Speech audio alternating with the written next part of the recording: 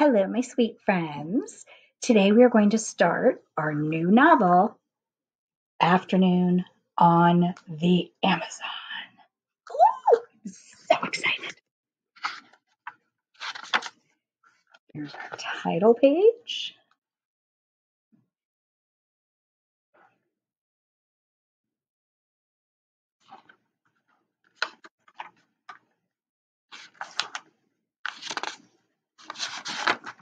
And here is the prologue. Remember, that's the little beginning of the story that tells us what happened in the story before and gets us caught up to where we are now. Here's the picture.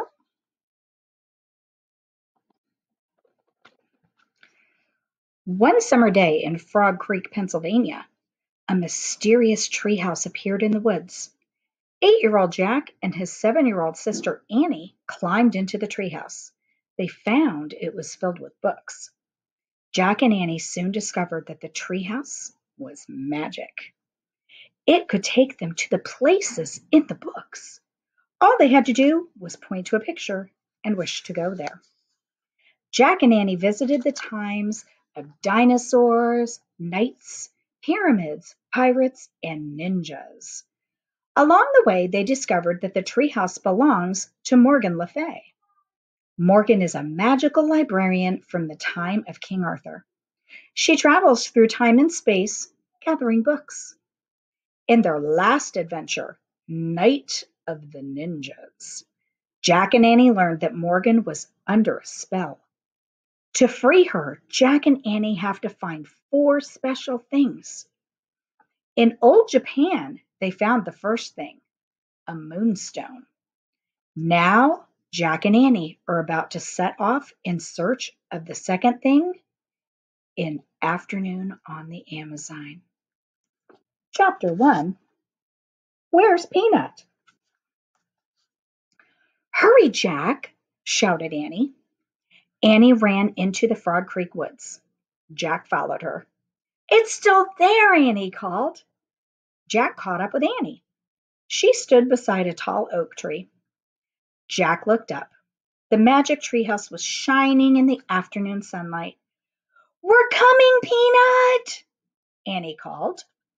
She grabbed the rope ladder and started to go up. Jack followed.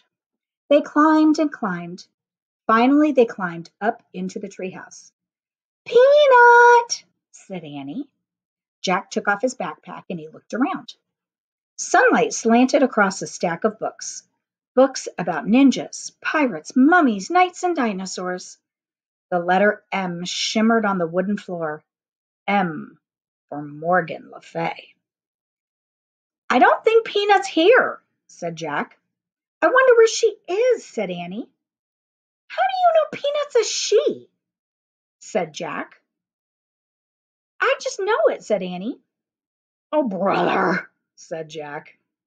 Squeak! Annie laughed. Look, Jack! A small pink sock was moving across the floor. Yesterday, Annie had turned her sock into a bed for Peanut.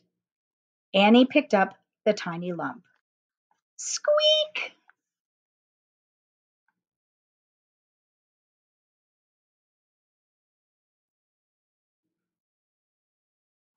What is Peanut?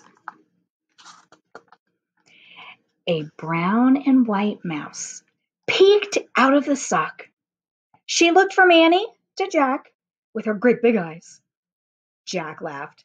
Hi, Peanut, he said. Will you help us again today? asked Annie. You see, in old Japan, Peanut had helped them when they had gotten lost. We have to find three more things for Morgan, said Annie. Jack pushed his glasses up into place. First, we have to find a clue that tells us where to begin, said Jack. Guess what? said Annie. What? said Jack. We don't have to look very far.